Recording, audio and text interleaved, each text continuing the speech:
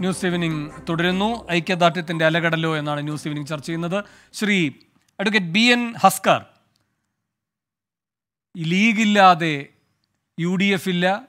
കോൺഗ്രസിന് കേരളത്തിൽ ഒരിടത്തും ഒറ്റയ്ക്ക് നിന്ന് സ്വന്തം സ്ഥാനാർത്ഥികളെ ജയിപ്പിക്കാൻ കഴിയില്ല. ഇങ്ങനെ പല രാഷ്ട്രീയ പരിഹാസവുമാണ് സി പി എം ചൊരിഞ്ഞത്. ഇപ്പോൾ ഈ കോഴിക്കോട്ടെ മഹാജനസഞ്ചയത്തെ കാണുമ്പോൾ സി പി എമ്മിന് ആരു നൽകുന്ന മറുപടിയാണിത്? വേണു ആംഗലേയ ഭാഷയിൽ ഒരു ചൊല്ലുണ്ട് ബെറ്റർ ലേറ്റ് ദാൻ നെവർ ഇവിടെ കോൺഗ്രസ് ഇപ്പോഴെങ്കിലും പലസ്തീൻ വിഷയത്തിൽ ഒരു നിലപാടെടുത്തതിൽ അവരെ അഭിനന്ദിക്കുകയാണ്. കോൺഗ്രസ് അത്തരം ഒരു നിലപാടെടുക്കേണ്ടതാണ്. കാരണം കോൺഗ്രസിന്റെ ഭരണ ഭരണകൂടങ്ങൾ ഇന്ത്യ ഭരിച്ചിരുന്ന ഘട്ടത്തിലാണ് സ്വാഭാവികമായും ചേരിചേരാ നയം മുതൽ ഒടുവിൽ ഇന്ദിരാഗാന്ധിയുമൊത്ത് പാലസ്തീൻ ലിബറേഷൻ ഓർഗനൈസേഷന്റെ യാസറ രാഫത്തിന് ഇന്ത്യയിലേക്ക് ക്ഷണം ലഭിച്ച് ഇന്ത്യ സന്ദർശിക്കാൻ അവസരമൊക്കെ ഉണ്ടായിട്ടുള്ളത്. അത് ചരിത്ര വസ്തുതകളാണ്. ആ കോൺഗ്രസ് ഇന്ന് മൃദു ഹിന്ദുത്വ സമീപനം സ്വീകരിക്കുന്നതിന്റെ ഭാഗമായി പലസ്തീൻ ഐക്യ ഐക്യ റാലിയിൽ നിന്ന് ഐക്യതയിൽ നിന്ന് വിട്ടുനിന്നു എന്നുള്ള ഗുരുതരമായ കുറ്റമാണ് ഇടതുപക്ഷം ഉന്നയിച്ചത്. ആ ഉന്നയിക്കുന്നതിൽ സി പി എം വിജയിച്ചിരുന്നു. അത്തരം രാഷ്ട്രീയ വിമർശനങ്ങൾ ഉയർത്തിയതിൽ വിജയിച്ചു എന്നുള്ളതാണ് ഇന്ന് കാണുന്ന ഈ മഹാജനസഞ്ചയം കൊണ്ട് നമുക്ക് അനുമാനിക്കാൻ കഴിയുന്നത്.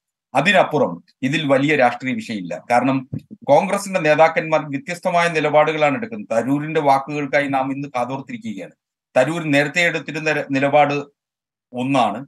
സുധാകരന് മറ്റൊരു നിലപാടാണ് വി ഡി സതീഷിന് മറ്റൊരു നിലപാടാണ് മുരളീധരന് മറ്റൊരു നിലപാടാണ് പാലസ്തീൻ വിഷയത്തിൽ. യു ഡി എഫിന് ഒട്ടാകെ ഒരു നിലപാടെടുത്തത് മുസ്ലിം ലീഗ് നെറ്റി ചുളുക്കിയത് കൊണ്ട് മാത്രമാണ്. മുസ്ലിം ലീഗ് കടുത്ത ഭാഷയിൽ യു ഡി എഫ് യോഗങ്ങളിലും യു ഡി എഫ് നേതൃത്വത്തെയും തങ്ങളുടെ പ്രതിഷേധം അറിയിക്കുകയും ഒടുവിൽ മുസ്ലിം ലീഗ് പിണങ്ങി പിരിഞ്ഞു പോകുമോ എന്ന ഭയം പോലും ഉണ്ടാകുന്ന തരത്തിൽ അവർ അങ്കലാപ്പിലായതുകൊണ്ടാണ് ഇത്തരം ഒരു വെപ്രാളത്തോടു കൂടി ഇങ്ങനെ ഒരു മഹാറാലി സംഘടിപ്പിച്ചത്. എന്തായാലും ആ പലസ്തീൻ വിഷയത്തിൽ ഒടുവിൽ ഇന്നാണ് യഥാർത്ഥത്തിൽ ഗാസയിൽ ഒരു നയതന്ത്രജ്ഞ വിജയമുണ്ടായിട്ടുള്ള ഒരു ദിവസമാണ്.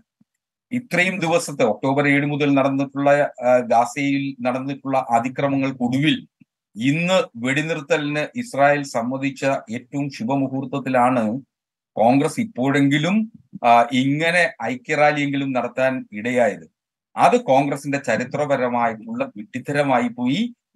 ആദ്യം നിലപാടെടുക്കേണ്ട കോൺഗ്രസ് ഒടുവിൽ നിലപാടെടുക്കേണ്ടി വന്നു എന്നുള്ളതാണ്. സി പി എം ഇക്കാര്യത്തിൽ രാഷ്ട്രീയപരമായി കോൺഗ്രസിനെ വിമർശിച്ചത് കോൺഗ്രസും സി പി എമ്മും ഒക്കെ തന്നെ രാജ്യത്ത് എടുത്തിട്ടുള്ള നിലപാട് പലസ്തീൻ വിഷയത്തിൽ എടുത്തിട്ടുള്ള നിലപാട് സമരസപ്പെട്ടു പോകുന്ന നിലപാടുകളായിരുന്നു. സി പി എം എടുത്തിട്ടുള്ള നിലപാട് പാലസ്തീൻ ജനതയ്ക്കൊപ്പം നിൽക്കുന്ന നിലപാടായിരുന്നു. അതേ നിലപാട് തന്നെയാണ് കോൺഗ്രസ്